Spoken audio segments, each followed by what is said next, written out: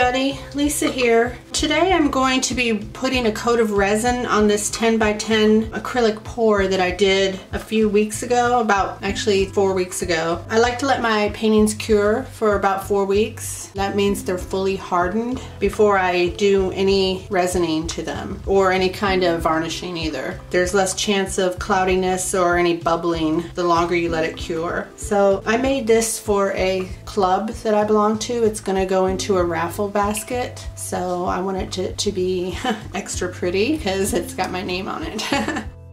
So I'm using art resin and painting the size calls for about three and a half ounces. I went ahead and mixed up four just to make sure I had enough resin. I'd rather have too much than not enough.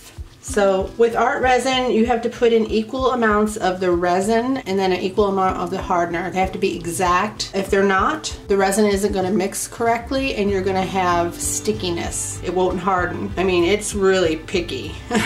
it has to be exact. I've made the mistake before by not being exactly, like trying to eyeball it and it was a disaster. So I measure to make sure it's exact. Make sure you mix it for three minutes, three full minutes. And as you're mixing, scrape the sides and also scrape across the bottom really well too to make sure you're getting all of it mixed. I've already made sure that my canvas is level. It needs to be level, especially for resin because resin is self-leveling and if it's not level, it's gonna be sliding off and it's gonna be a disaster. you have to redo it. And we all know resin is not cheap, so we wanna get it right the first time. Okay, I actually started mixing this before I got on camera, so I'm pretty sure I have a full three minutes, maybe even more, into mixing this. So what I'm gonna do is I'm gonna pour this onto my canvas. A lot of people use things to spread their resin around. I just use my fingers, or my gloved hand, I should say, because I just find it easier to spread it. So I'm just gonna spread it. I'm not gonna go over the edges yet.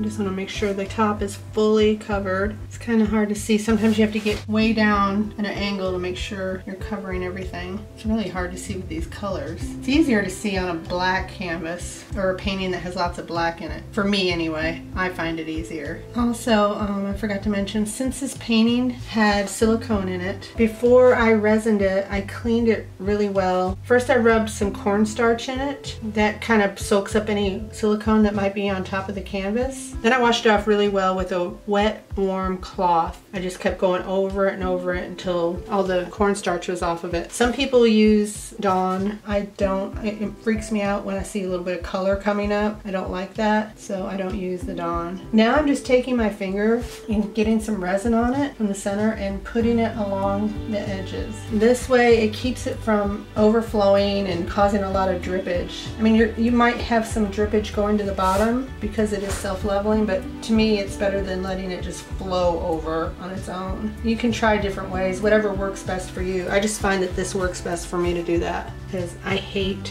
cleaning those resin drops off the back of the paintings. I usually end up having to file them or sand them or something and it's a hassle. I find that there's a lot less problems if I do it like this. Sometimes I still have to sand a little bit, but not as much as if I just let it spill right over the edge. Okay, so I'm gonna get down and eyeball it and make sure I have resin going all the way to the edges still. Sometimes if your canvas isn't tight enough, it'll sink in the middle and all the resin will kind of pool to the middle and then you have problems with the edges. So I like to really tighten them with a blow dryer before I even paint on them. What you do, you spray the back of your canvas with some water and then blow dry it. I use a hot blow dryer and it tightens it, tightens it like a drum. So that way when you do paint, you're gonna get a better painting too because it's not gonna be sliding off and it's also better when you're gonna resin.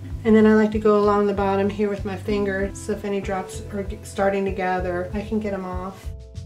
Whenever you use resin, you have to have a torch because you're going to need to torch the bubbles that you can't avoid when you use resin. There's always bubbles in it. Yeah, I really don't like resining something like in this color palette because it's really, really hard to see. Black, it'll show spots right away. Okay, I use a propane torch. You can use a butane torch. It doesn't really matter as long as you have heat to get rid of the bubbles.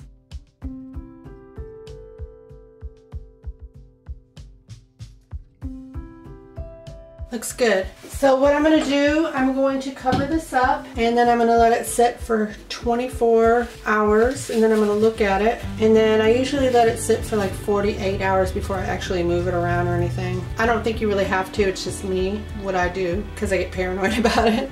So there's how you resin a acrylic paint pour. Stay tuned for close-ups and I'd like to thank you for watching. If you like what you saw, please subscribe and don't forget to click the notification bell so you don't miss any of my future videos. I'll see you next time. Bye.